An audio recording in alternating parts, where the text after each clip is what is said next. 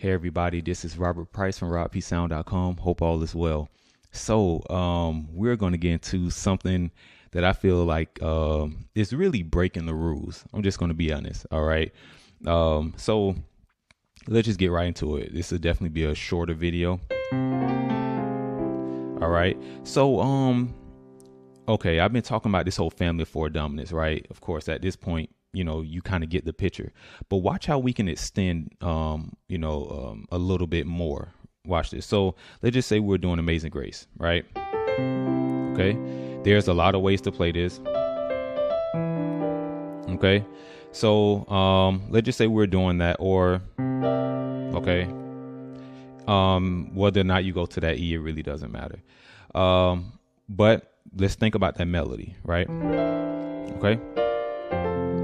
So let's just say you're doing something like that. So I'll stop there. So, okay. Okay. Or, so let's see how we can get to that four. Watch this. Here we go. Here we go. Okay. Okay. So you see what I just did? Um. Uh. We go. Instead of doing this, I did this.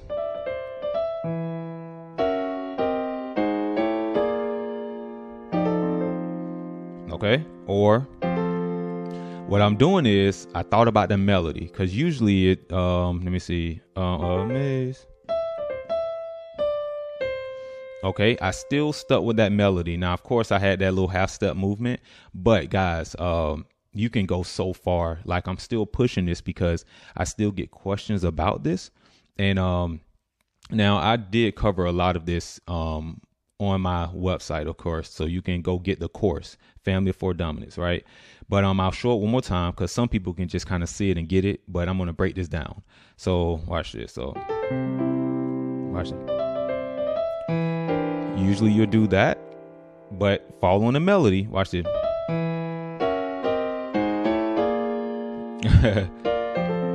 okay. Now, if you want to go kind of like outside the melody but come back in, you could do something like this, maybe. Uh, okay. Um, watch this.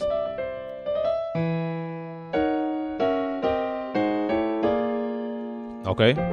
So you see what I did? And of course, I'm kind of staying in one part of the register, but look what I did. Okay. So, um, there's you can do even more. You can do more than that if you want to, but um, I just wanted to show you guys this. Okay. So, um, of course, this is over a dominant chord, but you can take this concept and just I don't know, just reuse it in different situations. Okay. So I don't want you guys to feel limited um, when you're getting this course or when you're uh, learning something like this. All right.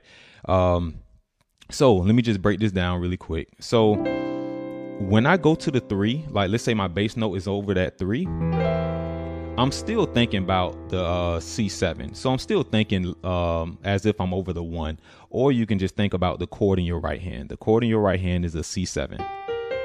Okay. Now, of course, this is a different inversion. Okay. Um. Right. You see? Um, what I'm doing is I'm using all of this in a drop two. So I'm thinking about the family of four dominants, right? Um, you guys should know it. If you don't, definitely go back and look at the uh, the the recent videos. Like I said, it's going to be a shorter video. Um, so what I'm doing is I'm thinking about the family, and then I say, well, what chords fit with the melody that I'm going for? Because this doesn't have to be Amazing Grace. All right. So I know I'm doing this. Right. Okay. So what I did is watch this. Now, I don't have to put that half step movement in there. I could just do this. Okay, but you want to add a little bit of flavor when you're playing, right? So I decided to. This is a F sharp major. I mean, not F sharp major, but F sharp seven, right? Look at that. And I'm, you know, of course, taking the height, the second to the highest note, bringing it to the bottom, right? Now, um, your bass can stay um on that C the entire time you're doing this, all right? Because um, that's actually what I'm thinking about. Over that C7, I'm thinking about the family or the um the chords that you know that are family members, you know, with that C. So I got that C sharp at the bottom. Now look what I do though. I don't think I've taught it like this before. Watch this. I'm still over here. Look what I do. I'm playing a C minor seven, guys. I'm trying to tell you. So I'm I'm gonna mix uh dominant and minor chords too. So I'm trying to tell you guys, uh, the the stuff that Barry Harris taught is like otherworldly. It when you really like sit down and think about it. So okay, this is still all over um over the one, or if you switch your bass note to that that three, because I'm thinking about the C7. So watch this. Now I'm going to go here. Okay, because of course um you can do like a a lot of people just play a B flat major chord. Okay, what I'm going to do is this. All right. So since this is my targeted um chord, um I'm just going to, you know, do like a half step movement.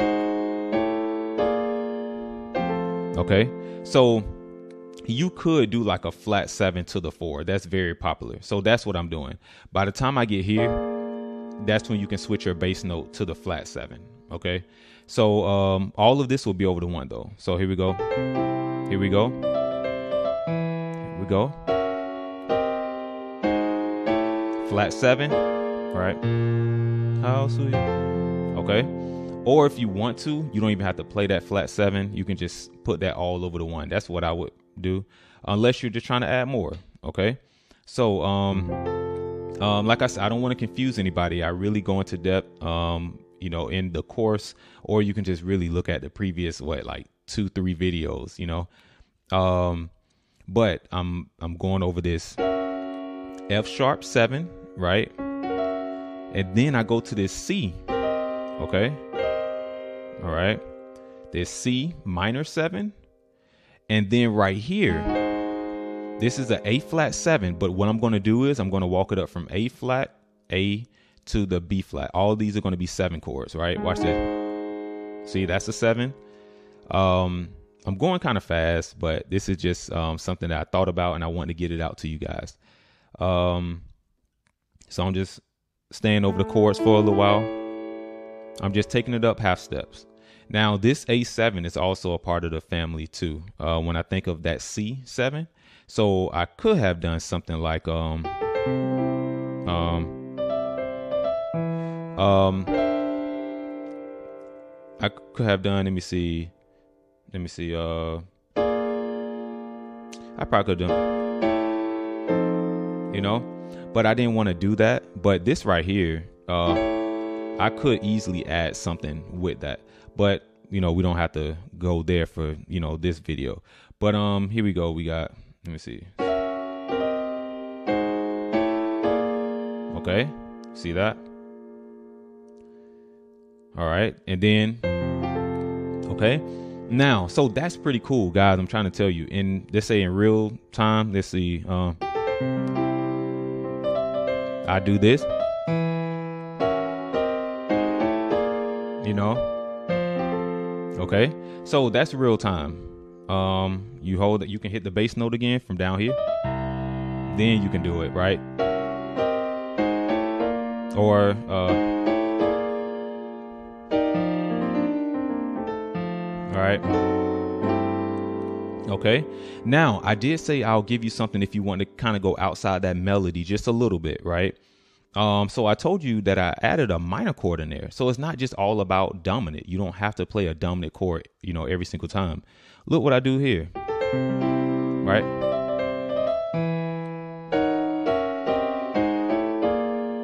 Yeah, you see what I did? So I added a E flat minor seven in there, guys. So this is another thing that you can do. Like you can really, really go to another level with these concepts. All right. So this is just a drop two. All right. So I hope I'm not going too fast for people, but um, I just figure at this point you guys have kind of heard me talk about these concepts. So um, this is just something quick that I want to get out to you.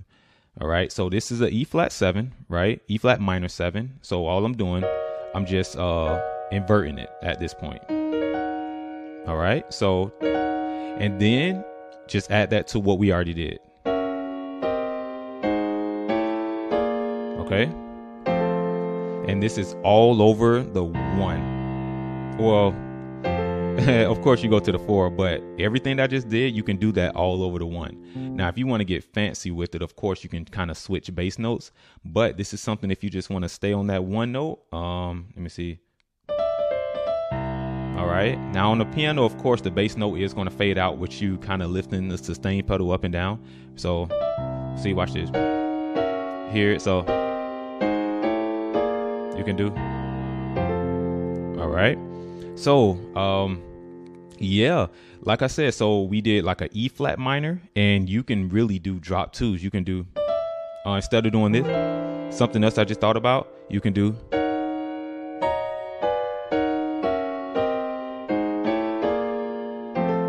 Okay.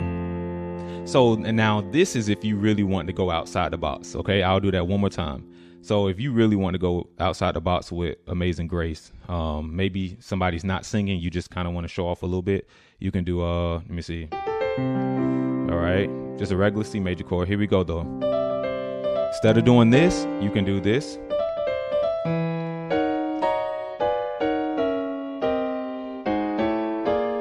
You know, so okay. So there are so many things that you can do. All right. Um, hopefully this right here helped you out. Um, um, definitely look at the other videos if you just want a little bit more. Um, but yeah, I hope this helps you out. Definitely go get the course. You can also grab the uh, um, the runs, jazzy runs too, the jazzy like jazzy piano runs, um, and put that together because I talk about the same concepts but just in more of a run fashion. A fashion, okay. So, hope all is well with you guys. Don't forget to like and share, subscribe if you haven't. All right. Take care.